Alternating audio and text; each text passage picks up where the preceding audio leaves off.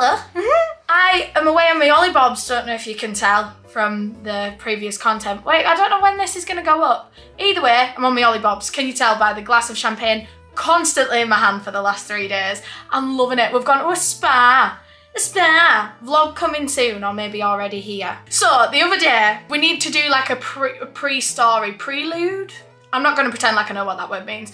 Basically, I went to Valencia the other day for the YouTube Creator Summit and it was the coolest thing I've ever done in my life, by the way. And while I was out there, I was making so many friends. And this one guy said to me, he was like, you would be so great on a podcast because you can just chat beans about any topic for as long as you want and you won't shut up. And it sparked an idea in my in my little sausage brain. What if I what if I did that? Like what if I made a podcast? What if I just did that? But like I'm scared because that's like a lot of extra work and I'm already like so dedicated to the true crime chan that I don't think I could take on another project. But I can do a second channel video that's a bit like a podcast. So that's what this is. Surprise! Spoiler alert, that's what this is. Um, it's probably not going to be cut as much as my usual vids. So, I'm going to do my makeup um, and chat some beans and I hope you enjoy this. Let me know what you think to this style of video. If you like it, I can do more. Um, I could even bring in guests, podcast guests. Okay. I'm always scared of wetting my beauty blenders when I've got rings on because I'm scared I'm just gonna like slice it open. Like a, an awake operation, poor thing's not even under anaesthetic. Oh yeah, I'm wearing joggers and a dress. Who said that I can't wear my joggers with my dress? That was a banger. That was a banger. Oh my god, and you know what else is a banger? Demi Lovato's new album. Sensational. Right, okay, so what do I want my first topic to be? Oh, okay, let me, let me talk about my break because I know so many people have been asking about it and I just haven't really known when or where to talk about it. And like at the time I felt like I couldn't really talk about it. So I'll fill you in basically. If you didn't notice, over the summer I had like a few months off of social media as a whole, like not even just YouTube, but it started with YouTube and I was going to stay active on Instagram and Twitter. But then when it came to it, I like I, I was just like I just I just need time away from it all. Basically, the reason being my mental health. I have always had quite turbulent mental health like since my teenage years and I've been managing it really well for like the past few years. Mm, no, I haven't. That's actually such a lie. I've not been managing it well. Um, but I've uh, I don't know how to word this because I don't really want to say too much online because obviously it's really personal. So I'm gonna have to try and figure out how to word this. Basically, I had Oh, I went through a breakup. Fine. I went through a breakup. Do not fear, even though I look like this, I'm rather hungover. But I wanted to interject at a later date because podcast Eleanor was not really saying what she meant at this bit. And I just, I want to just, I want to help her out. So basically, for a little timeline, I went through a breakup earlier in the year. Um, and then like I was dealing with it fine. I was dealing with the breakup fine. And then it got to summer and I had just a completely separate mental health blip just uh, in my own life. And the reason that the breakup intertwines into this is because when I was in that relationship, whenever I would have a mental health blip, that person would help me through it. That was my support system. And so now when I had this blip in summer, I no longer had that person to help me through it. So kind of that's why summer was especially hard. It wasn't because of the breakup, it was because I was going through my first mental health blip kind of all alone. Um, which was really good in the end. It means I've like come out of it and I now know how to deal with things like that on my own, but I didn't at the time, which is why it was such a hard thing for me to go through. It was like my first time ever navigating those feelings all alone. It was it was hard. Oh my god, I, oh my god, I really need to like do skincare routine. Anyway, back to podcast Eleanor. Like not having that support system has made me build my own support system. It's been really, really healthy long term. Um, but yeah, it was just kind of like my first it was it was my first mental health blip without having my boyfriend there. So it was it was harder. Um, but I'm over it now and I think by the next blip I'll be I'll be fine because I've, I've managed to solve the last one, you know? And that's the thing about mental illness and stuff like that, especially anxiety, is that you have to put yourself through it in order to, to to fix it and to get better. Like with anxiety, I I suffered really badly with anxiety like in college and school. And if I could give like one piece of advice to myself back then, it's just try and push through it.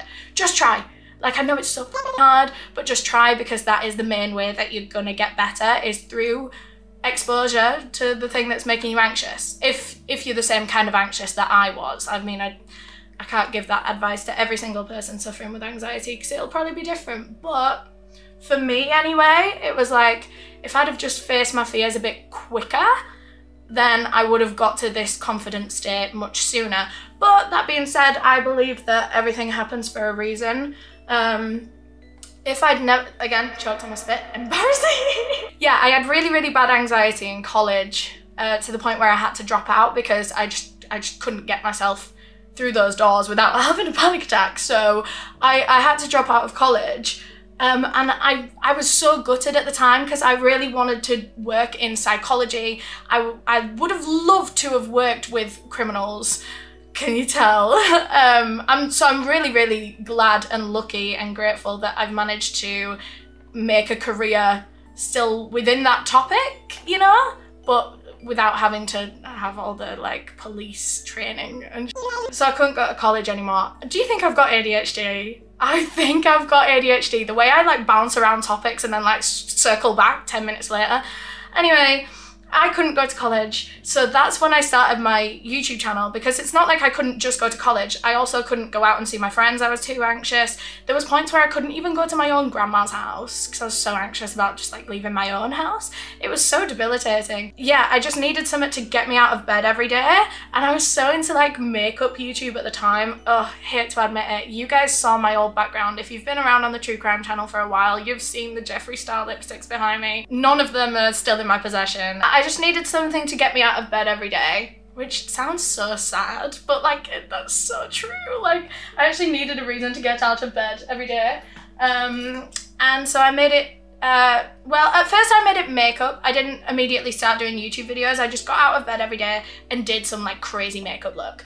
And trust me, there was so. Was I'm so glad she stopped doing that because that's so embarrassing. Anyway, um, yeah, I just started doing like mad little makeup looks. Um, I say mad, they're definitely not mad by today's standards, but like for like my friend group standards, like I was always the one with like bright eyeshadow and you know. Um, so yeah, I started doing just my makeup every day and I was watching so much makeup YouTube and I loved it so much that I was like, might as well try that. I'm already doing my makeup every day, I might as well film it.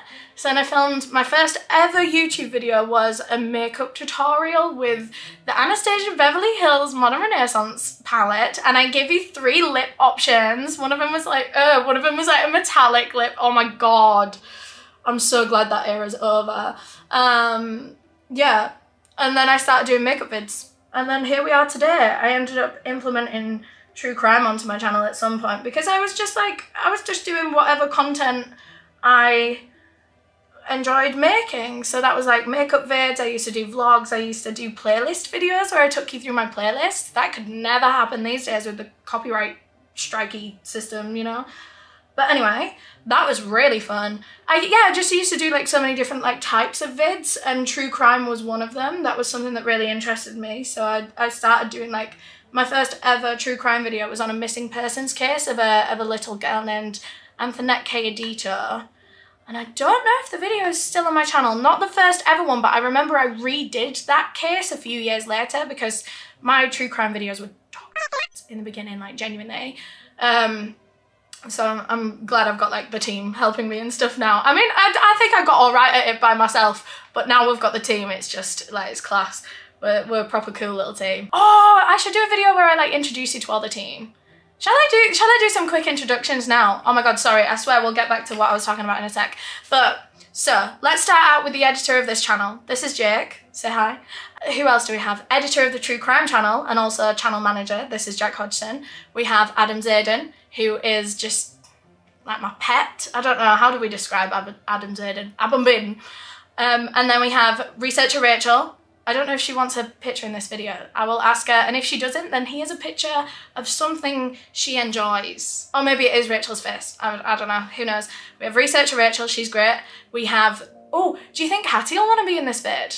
I don't know. I'll, I'll ask Hattie again. And then this is Hattie. She helps us just like run as a business. So yeah, that's that's the team. I don't know if Hattie will want to be in the vid, but yeah, that's that's the gang right now. We're hiring another researcher at the moment. We we like um yeah, we're hiring another researcher at the moment. I don't know. I think I was gonna try and mansplain that to you, but like you know what that means.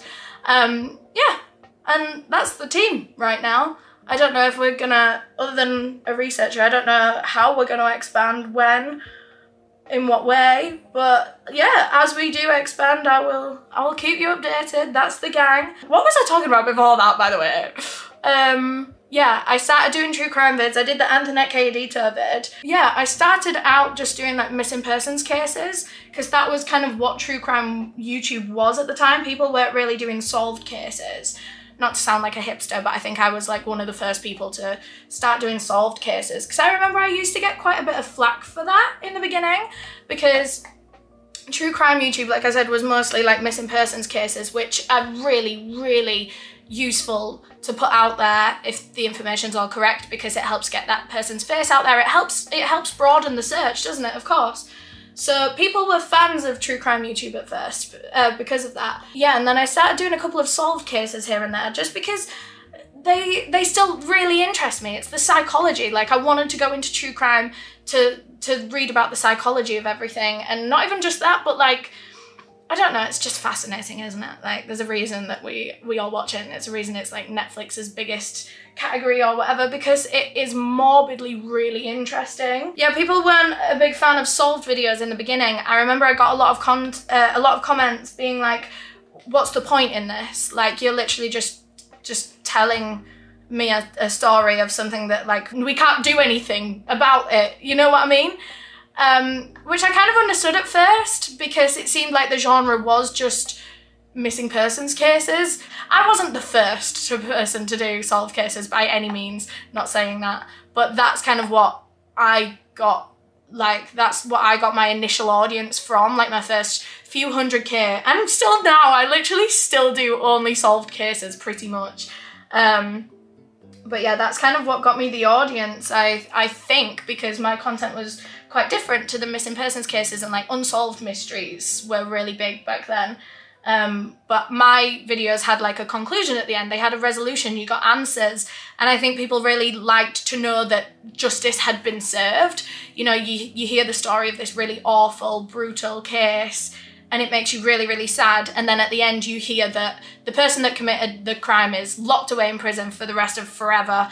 And it feels like, okay, like it's, you're still really sad about the story that you've just watched, but at least, you know, at least there's resolve. Whereas with the unsolved mysteries before that, that was one thing that I could never really like. I mean, it, it sounds really like ugh, to say because these are real stories, but listening to like unsolved mysteries would would plague my brain for a while. I had to stop doing it because I am a worrier. I'm a really anxious person. So like hearing about these like women that were like murdered, their bodies were found and then their killers were never, never found, like that me up. Like that genuinely seriously me up because why is that person still out there? That's so scary. That is literally so scary to me that I had to stop watching like unsolved crime. Um, which again is why I think I got so into solved crime because I wasn't giving myself nightmares every time. Oh my god, Adam's outside! Oh my god, go away, get a life! love you. Should we talk about music? My favourite music at the moment, I have been loving girl rock. I literally have a playlist on Spotify that's just called Girl Rock and it's just like loads of female musicians. I'm obsessed with Maggie Lindemann. There is something about girl rock stars that just feeds my soul. I'm like, yes, feminine rage. Oh, that that tickled me a little bit. I'm gonna be paying for that tomorrow when I wake up with no voice. Oh, hello. Oh, gang, I'm really struggling to actually do my makeup and talk and move my hands and concentrate on my words at the same time. So, you know, if I ever have a podcast, maybe let's just focus on one thing at once. Eh? You defo- What? What? Oh. I thought my phone had just been unlocked on the side the whole time. I was like, well, that's just going to run down the battery. That's, oh, my mum does that all the time.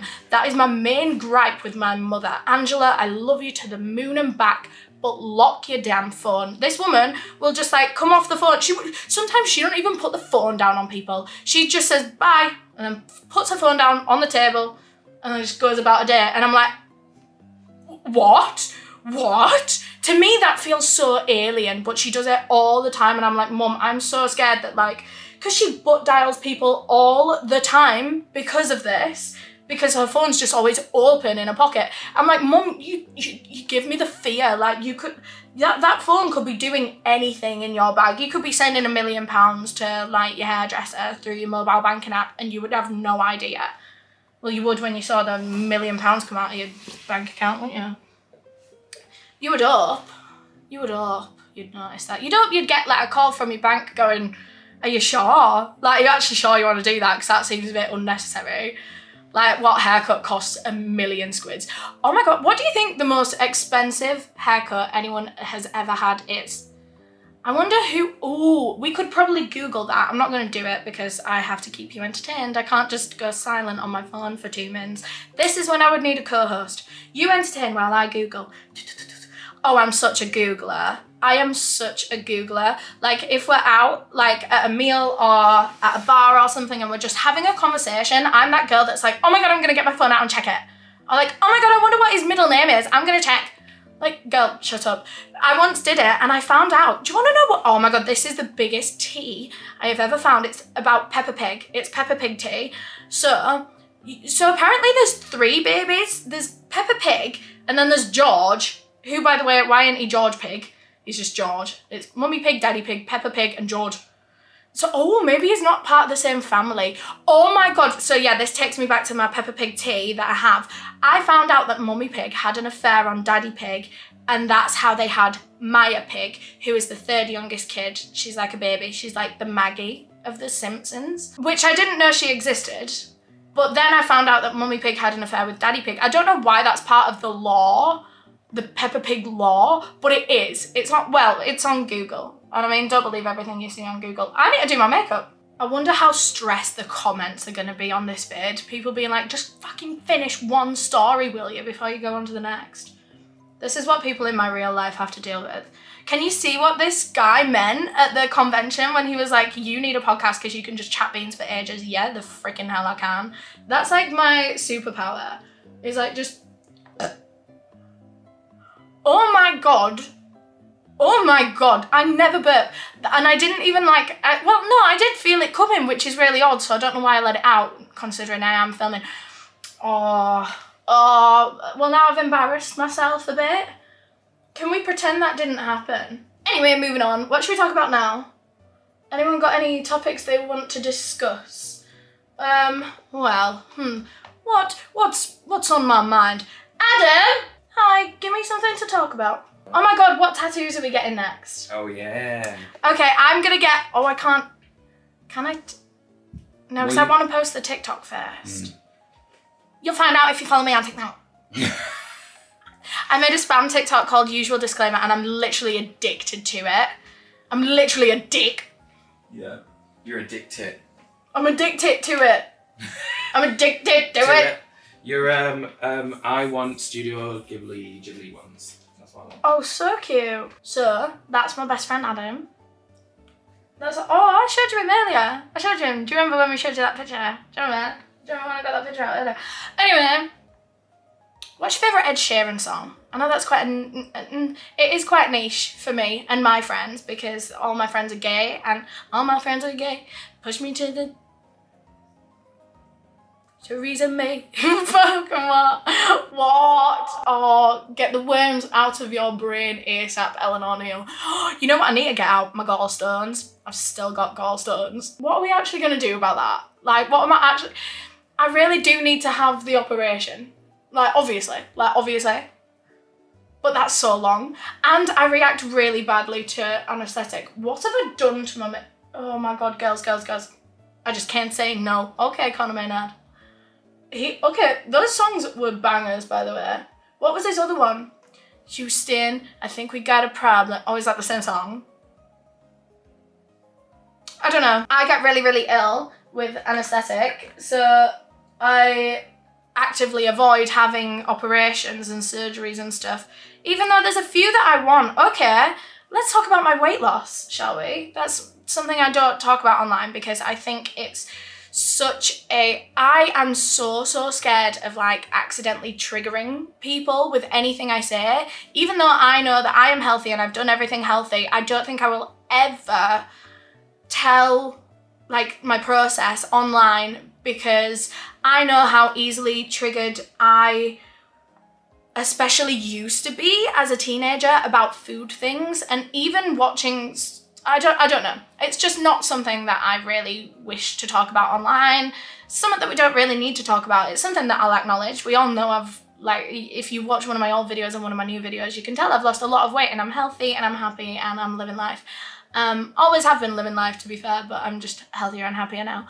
Um, what was I, where was I going with that? Oh, but with major weight loss like mine, you are left with a lot of loose skin that I um I never used to be that um self-conscious of. I've had it all for about like a year now. Um, and I never used to be that self-conscious of it, but for some reason, the past couple of months, I've been like, okay, this is something that I that is like limiting um, my quality of life, you know? Like, I think I would just be a bit happier if I didn't have bingo wings. Do you want me to... Okay, there's my bingo wings but we're girlies, so I can I can be vulnerable with you and show you my bingo wings.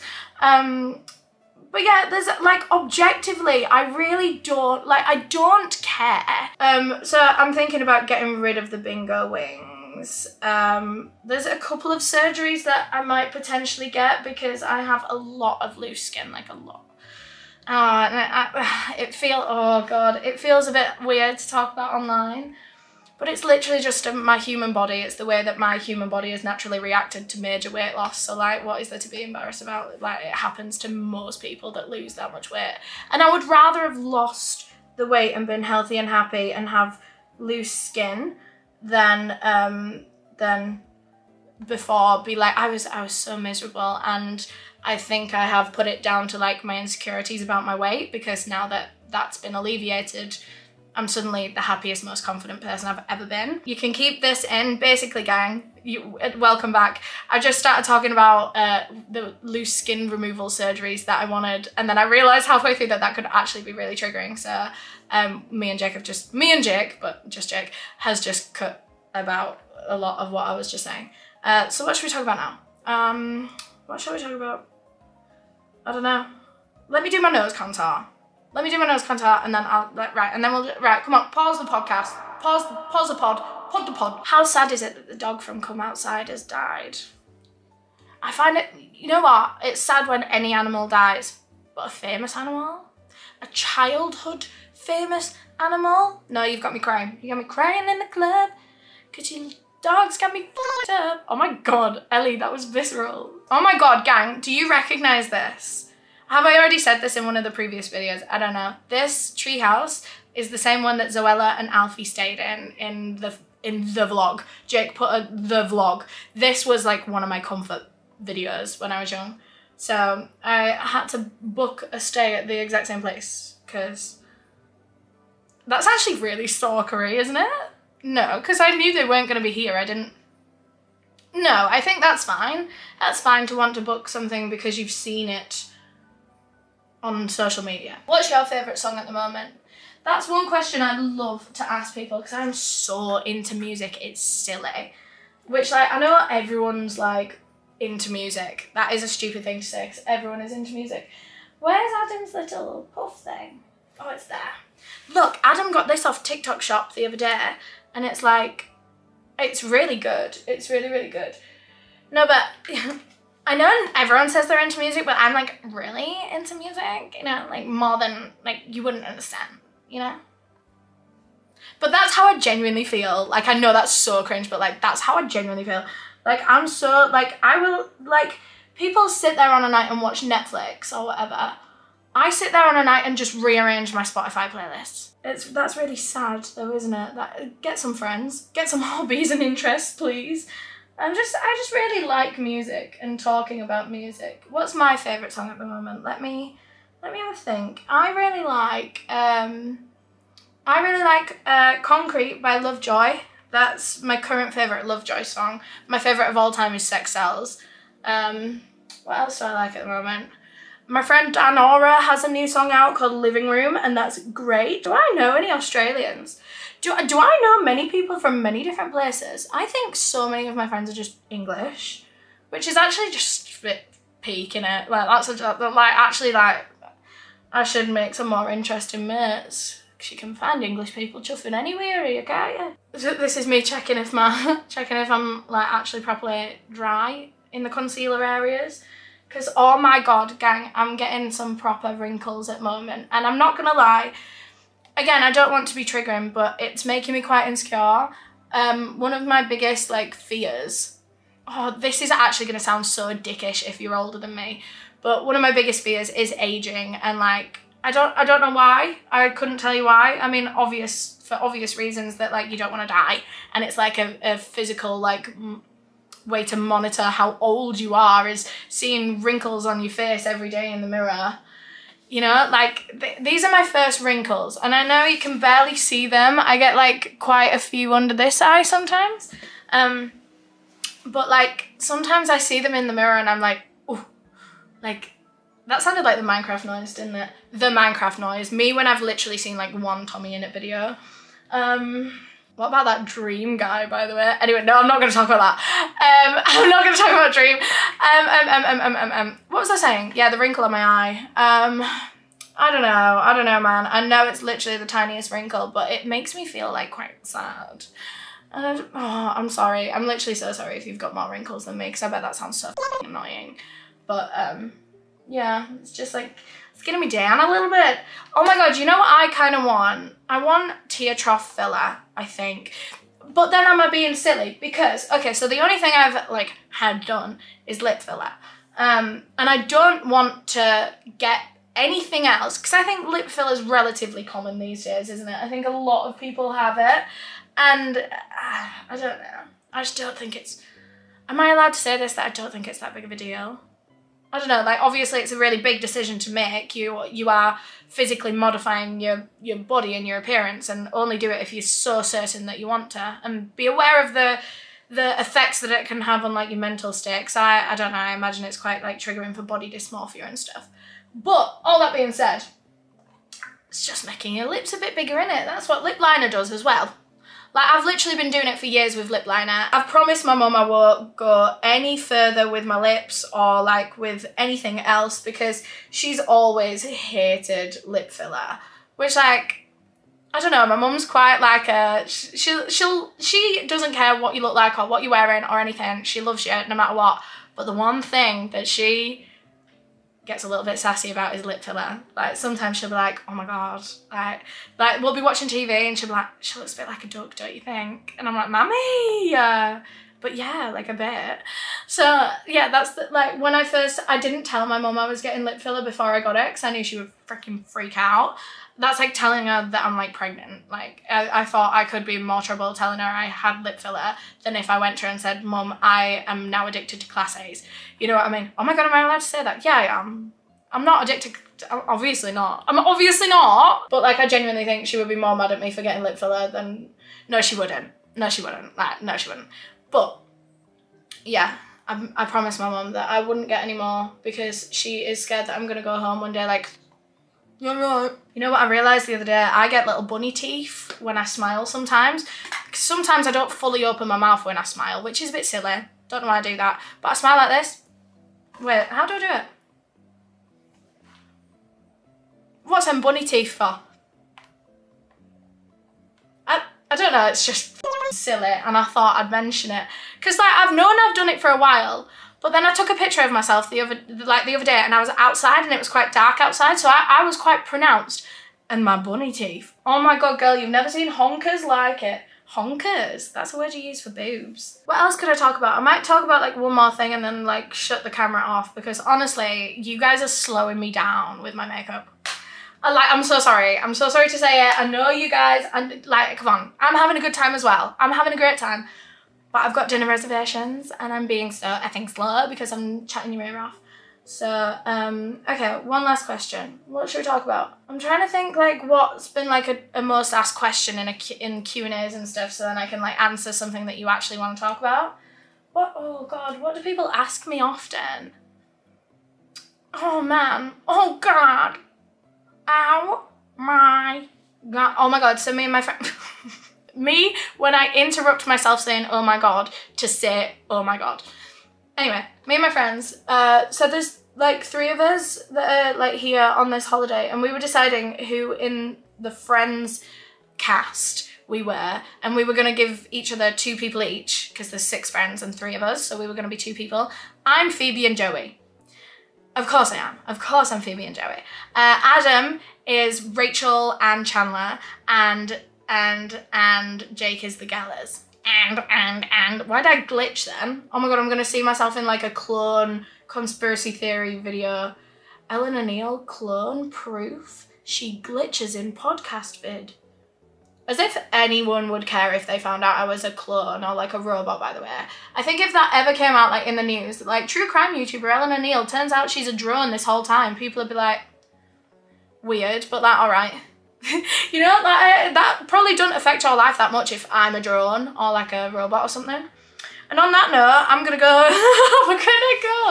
Um, I'm not a drone, I'm not a robot. I'm not, you cut me and I'll bleed. And I'll also cry because that'd be really mean and it'd probably hurt a bit. So don't do it. And don't do drugs. I'll see you in the next one. Love you, bye!